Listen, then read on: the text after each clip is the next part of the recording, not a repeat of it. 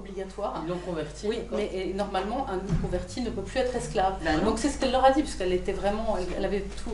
Et en fait, ils, ils lui ont dit, bon, tu, tu es converti depuis trop, euh, trop peu de temps, et donc ton, ton mari a le droit, alors le juge islamique lui a dit, ton mari a, le- a donc le droit euh, de te vendre, euh, de, euh, euh, de te violer, de te tuer, et, et moi, et moi je suis prêt à t'acheter, parce que et, euh, il, a proposé à son mari euh, trois yézidis euh, pour elle, mais le, le- le mari a refusé. Voilà. Alors que C'est totalement interdit par la charia, effectivement, qu'un musulman soit servi en esclavage ou vendu, etc. Oui, mais tu vois, c'était une conversion euh, donc ils ne reconnaissaient oui, pas vraiment, en fait. Ouais. Mm. On rappellera qu'un élu écologiste en Allemagne a dit qu'on pouvait Absolument. intégrer à la constitution allemande des éléments de la charia qui étaient tout à fait compatibles. Et, et on rappellera aussi qu'il y a des cours chariatiques en Angleterre. En Angleterre. Et au Canada. Et, et qu'est-ce que tu disais qu'en Angleterre, il n'y avait pas eu de... Oui, en Angleterre, ils se sont rendus compte en faisant le compte que. Ils se sont rendus compte en faisant le compte. En faisant les comptes qu'ils n'avaient pas accueilli de chrétiens d'Orient, euh, de- des réfugiés syriens. J'ai trouvé ça assez rigolo comme anecdote parce que bon, ils ont des services d'immigration euh, un peu comme les nôtres. Ben, moi, je suis étrangère, donc euh, bon, c'est des métiers maintenant qu'on n'aime plus trop, donc on les donne aux, é- aux étrangers, aux nouveaux immigrés. Et il est fort possible que les consulats ben, n'aient traité que les cas des musulmans. Voilà, Euh, ils n'ont pas Ils ont accueilli accueilli des chiens aussi, quand même. Ouais, mais ils n'ont pas accueilli les chrétiens d'Orient. L'Angleterre n'a pas. En France, on en a accueilli hein, quand il y a eu la guerre et Daesh, mais l'Angleterre, pas du tout. Tout le monde s'en fout. C'est pas mal. De. Oui, euh, si, hein si elle doit partir, vaut mieux Non, poser des questions maintenant. Pas le temps. hein. j'ai- Poser une question Ouais, allez. Non, c'est après. Non, Non, non, allez-y, allez-y, non, je parce vous en que- prie.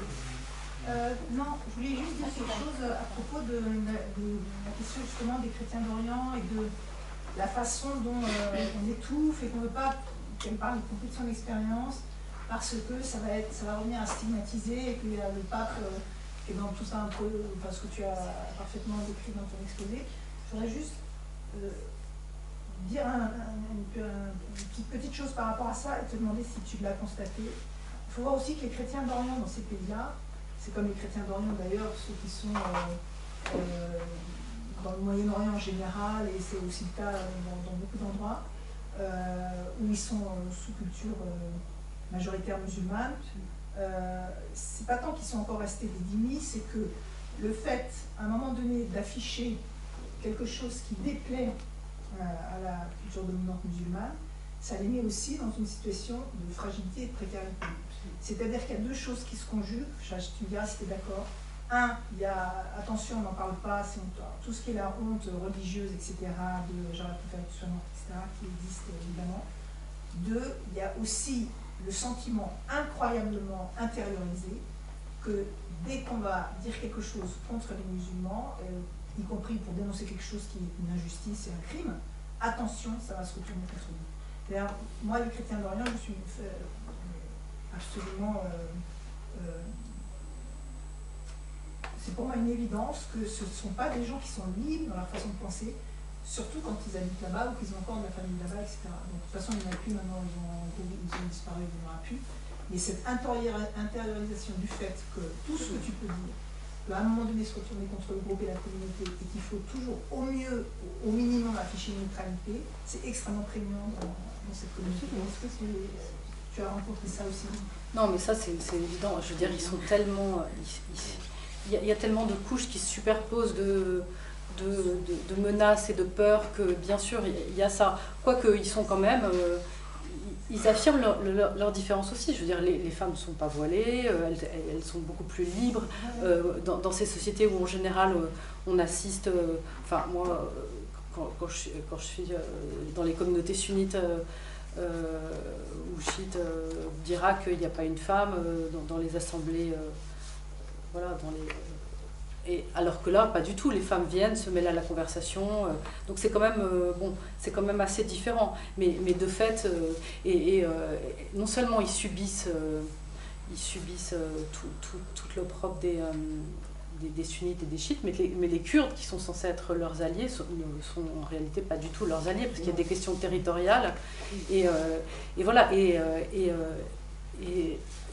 Fatia, tu, posais la question de savoir si elle, s'était convertie et donc euh, si ça l'avait euh, protégé. Alors ça l'a pas du tout protégé de Daesh, mais il faut savoir que les chrétiens qui ont, qui ont été convertis de force par Daesh, euh, notamment quand ils ont été esclaves, ils ont après rencontré des problèmes terribles pour se déconvertir, si j'ose dire, parce que les Kurdes euh, les, ont empêchés de faire en fait. Ils ont dit ah non, vous vous êtes, vous êtes convertis, maintenant vous restez, euh, restez musulmans. Donc c'est un peu la double peine.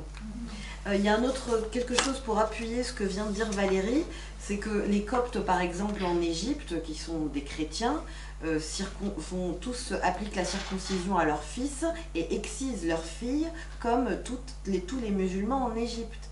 Donc vous voyez à quel point, pourtant c'est pas du tout dans leur religion, et comment euh, ils intériorisent tout ça, parce que bon, bah, leurs garçons vont à l'école, ils vont dans les vestiaires, il faut pas qu'ils soient, si pour se protéger, euh, il faut qu'ils ressemblent aux autres.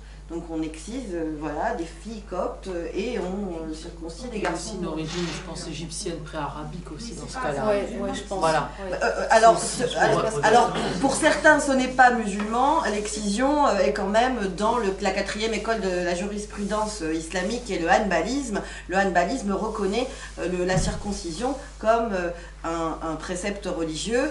Et dans cette zone-là du monde arabe, arabo-musulman, le hanbalisme est appliqué. Nous, par exemple, on est des malékites dans le Maghreb.